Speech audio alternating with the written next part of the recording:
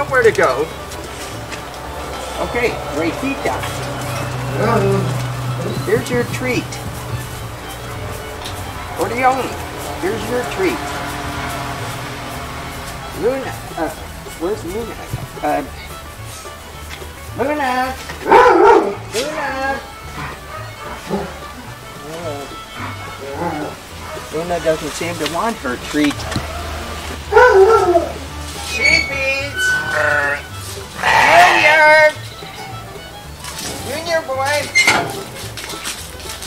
Come here, Junior. Come here. Howdy there, Junior. Howdy, Junior. Junior is here. Junior is the only one of the sheep that likes to be touched. The other two, not so much. They're more skittish than he is. And, but Junior, he, he likes to be touched. He likes the pampering. Okay, Junior. Oh, look at look, look at Junior going to the camera. Junior, Junior wants attention.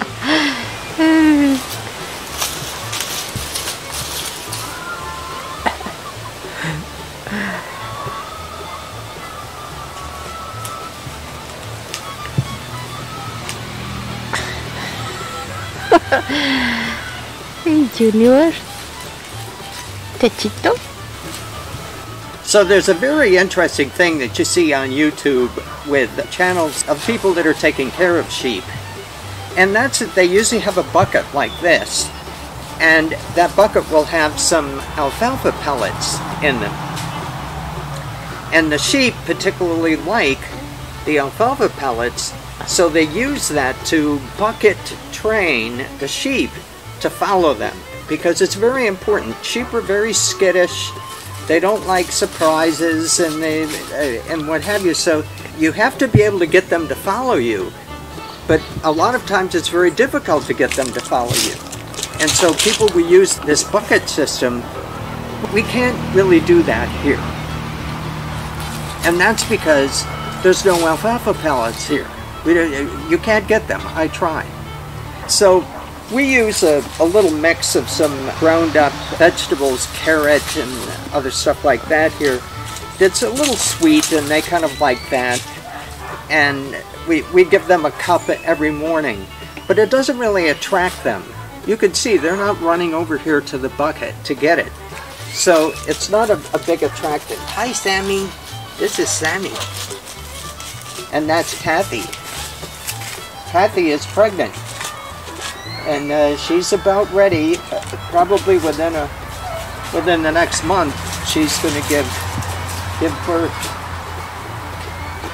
So anyway, I've developed a system to to get the sheep to follow me, and it works really well. And it is based upon repetition. Sheep and other animals like repetition. For example, if, if you look at drone footage of, of farms, you can see where the cows and the animals go. They always follow the same path. So they like repetition. It, it makes them feel safe. Boy, you know, Junior is just uh, loves the camera, I guess. He just he wants to be the he wants to be the center of attention. So I took advantage of the fact that the Animals in general like repetition, but the sheep like it a lot. And I developed a way to get them to get them to follow me. So I'm going to show that to you now. Right right right right right right.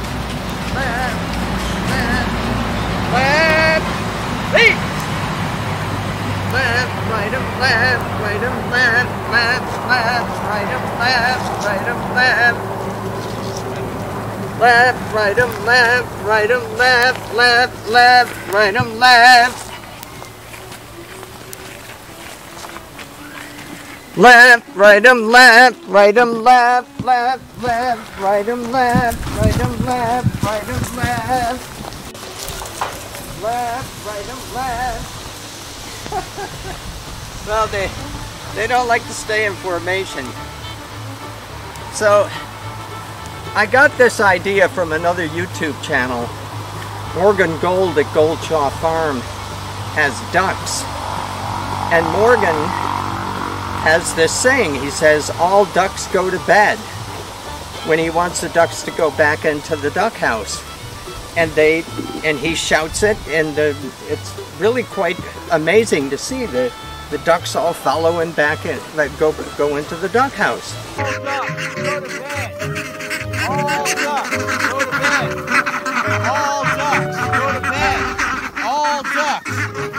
Bed. All ducks, go to bed.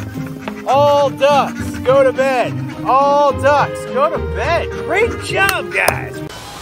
Well, it turns out that Morgan learned this from another YouTuber called Jack Spirko, who also did this with ducks.